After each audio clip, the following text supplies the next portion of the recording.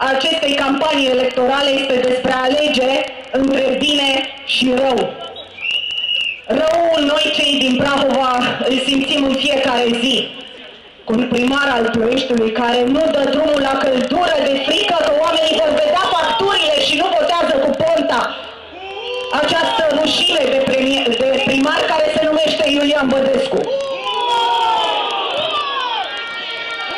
Județul Prahova este condus de un om care de mult nu mai trebuia să ocupe un birou.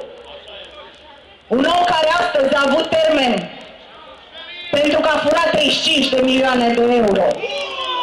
Mircea Cosma nu mai trebuie să stea în acea clădire.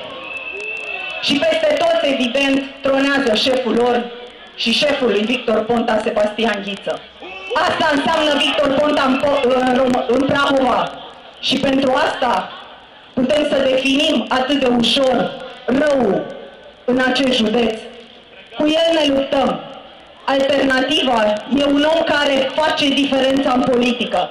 Un om care a fost un primar de succes, un om care a schimbat ceva pe oriunde a trecut, fie că vorbim de vieți de oameni de la uh, catedră, fie că vorbim de un oraș întreg, fie că vorbim de o relație a României cu exteriorul. Ăsta este Claus Iohannis.